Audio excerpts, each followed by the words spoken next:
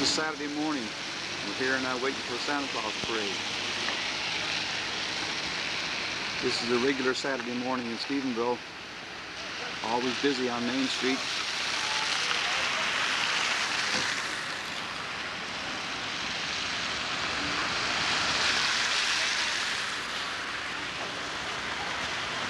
Oh, visitors. Where's mom? Gone to craft store. Oh shit, good. Dad, come get Leah some Carson Street.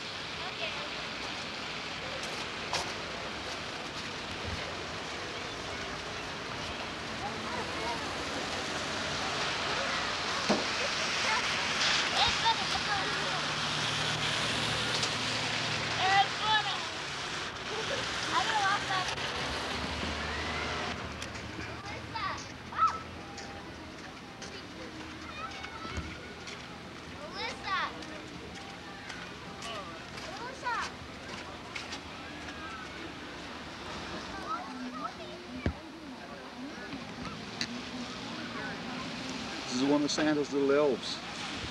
Sleep in the back seat of the car.